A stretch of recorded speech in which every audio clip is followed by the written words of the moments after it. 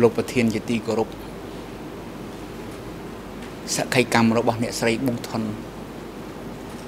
វាចេញមកពីចិត្តក្លាហានរបស់គាត់ដែលនិយាយការពិតហើយវាចេញមកពីទុកវេទនា ដែលនៅរំរៃក្នុងខ្លួនគាត់ច្រើនឆ្នាំហើយកូនអស់3 4នាក់3នាក់ ស្លាប់ដោយមិនដឹងរឿង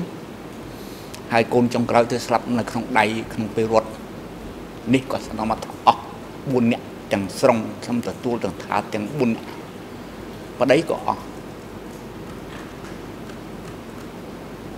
ខ្ញុំអត់និយាយលើកកំហុសថានេះគឺមកពីអ្នកស្រីជាសមាជិកភាព17មេសាទេជាមេគាបកកុម្មុយនីសកម្ពុជា មនុស្ស17មេសាគេអត់យកប្រើទេក៏ប៉ុន្តែប្រហែលជាកុលធួនធ្វើខុសមេគាក៏ប៉ុន្តែការសម្លាប់មនុស្សដែលមាននៅក្នុងជួរហើយ វាជារឿងមួយស្ថិតនៅក្នុងអាណត្តិអាណត្តិដែលប៉ុលពតកាន់កាប់ ដូច្នេះសម្រាប់យកលោកភោគហូនចេញពីក្រសួងធម្មពលក៏អចិន្ត្រៃយ៍សម្រាប់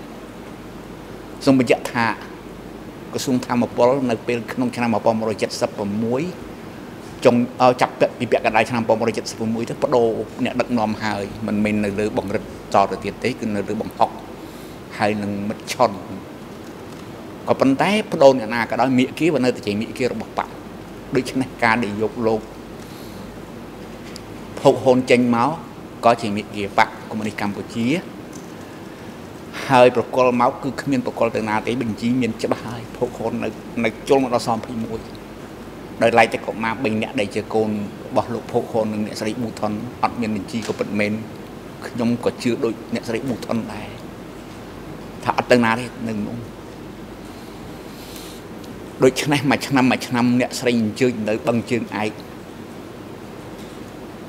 អត់ខុសទេកន្លែងនឹងសពប្តីអ្នកស្រីសពកូនអ្នកស្រីគឺនៅទីនោះកំហឹងធ្លាយពេលនេះ គឺពិតជាកំហឹងរបស់ប្រជាជនកម្ពុជាម្នាក់ក្នុងចំណោមប្រជាជនកម្ពុជារាប់លានអ្នកដែលបាត់បង់ប្តីស្រីកូនចៅនៅពេលនោះខ្ញុំទទួលទឹកភ្នែកនេះ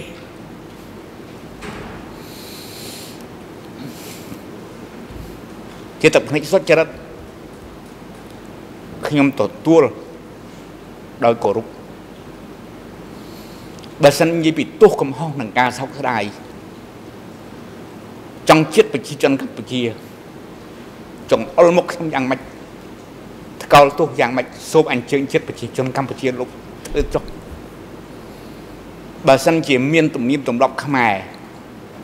ដូចចំនួន